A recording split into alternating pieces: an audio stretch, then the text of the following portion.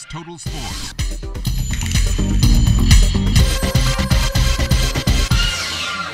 Welcome to sports, everybody. Our men's national basketball team in Panama for the Centrobasket Tournament. Julian Gibson is traveling along.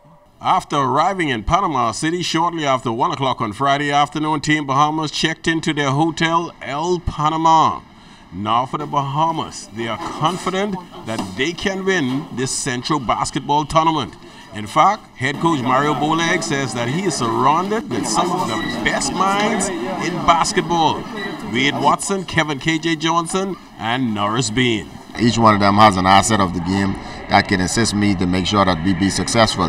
You know, uh, having uh, looking at the talent of players that we have around us, you know, you have to bring that same talent level of coaches to ensure that we put the best uh, product the Bahamas could put forward right now at this time and, and make sure that we become successful. Now for Teron Cox, one of the youngsters that has grown up and now is one of the veterans on the team. He believes the Bahamas can win it all. I like this team a lot. You know, we, uh, we got some young guys, but uh, the core of the group we've been playing together from junior national. So we pretty much know what each what, what each other's capable of doing, what our strengths and our weaknesses are. We just got to put it together with the young guys and execute. That's the biggest part of this tournament, just execution. Now the schedule for Team Bahamas Monday afternoon. They will take on Costa Rica at 12:45. Tuesday, the Dominican Republic at 5:45. Wednesday is a off day. Thursday, they will conclude round robin play 12:45 against Mexico. In Panama, reporting for ZNS Total Sports, I am Julian Gibson. Teenage phenom DeAndre Ayton was selected for this year's national team. He is the top ranked college recruit in the class of 2017, and Ayton spoke about how it went for him this past season. It's been rough, you know, but we, you know, we finished 21 and 5, you know. You know, I got it, it was a lot of trials, trials and tribulations, but we got through it. You know, we didn't win the national championship, but we had a great season. What are you expecting as you go back for your senior season? Uh, hopefully, we win this national championship. You know, I know some questions been whether you're going to college, whether you're going to go play abroad. college is a must. I'm definitely going to college. You know, I just took a visit, unofficial visit to Arizona like three days ago. You know, it's just just taking everything taking everything slow. You know, I got the EYBL in Augusta, the Peach Jam. What all colleges are you considering right now? When do you expect to make that choice? I'm considering uh, Arizona. I'll say Kentucky, Kansas. Mm, I'll say Duke and UCLA. I'll probably make my decision probably next spring, like probably the end of my senior year. Deshaun Taylor is also a part of our national team. He has just finished up his senior season with Norfolk State, and he spoke about his plans for the future.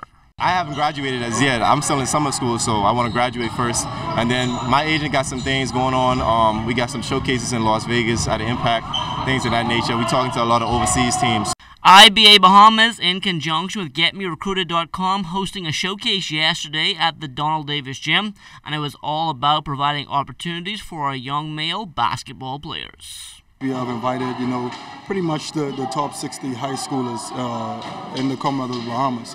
You know, um, a few weren't able to make it, but for the most part, we got the gist of guys here, you know, under one roof, under one umbrella, you know, playing basketball, um, definitely a game that they love. I know this year we brought down uh, a few special guests and a few coaches, you know, to, to definitely give the guys a look and want to give them an opportunity through scholarships and basketball, you know, to, to further ed- education, you know, to help fulfill their dreams. We've been blown away at the athleticism, the talent, the the drive to to ambition they have. It's just unbelievable. Summer is here and a number of basketball camps on the schedule. Among them, the Stingers camp at DW Davis and the Kevin Johnson camp at CI Gibson. Both of those start on June 27th. So a lot of camps they, they go from three weeks to a month, and then that's it. But with the Stingers Club, the Stingers camp is after camp. Then we go into almost a year on Saturdays with our club. You know, we're excited this year. We have our we're featuring uh, Tony Hobbs out of Dallas, Texas, Bridge Basketball Academy. exciting time. It's 16th year now. I know a lot of kids and parents been calling me about it, and uh, we, we expect a very good turnout and very good time in terms of teaching the fundamental of the game of basketball. The Acklins Regatta is set for the Emancipation Holiday weekend in August, and last night the committee got fundraising activities underway with the boat cruise. This is the first of uh, two of the boat cruises we need to do to raise some funds. We got to try and come up with some $72,000, and um, this is just a way of, of, trying to get people together, letting them know this regatta is going to happen, and I'm trying to raise some fun, have some fun at the same time. And that will do it for sports. Stay tuned to check on weather, still to come.